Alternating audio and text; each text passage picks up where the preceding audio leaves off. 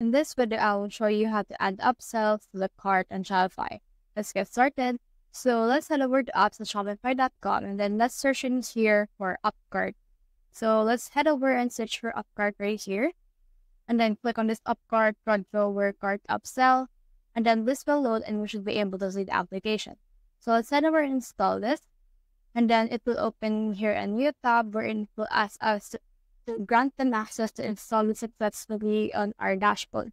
So just head over and then click on install right here. And as you can see, once you have clicked on install, we should be able to see that it will be installed on your store right here. So this will present you with a dashboard of the UpCart cart forward.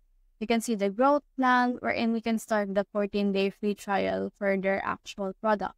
So as you can see right here on their rewards, can put in your customer rewards module as well as AOV upsells module.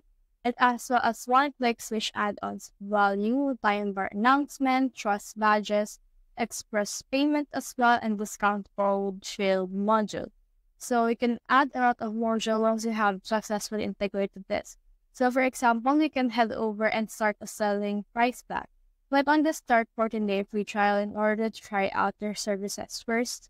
And then from in there, once you have click on that, they will ask you here for a bill for this specific 14 day free trial for your account. So just head over and then subscribe to their free trial in order to successfully integrate this UpCart cart drawer on your upsell in your cart as well. So that's the whole process.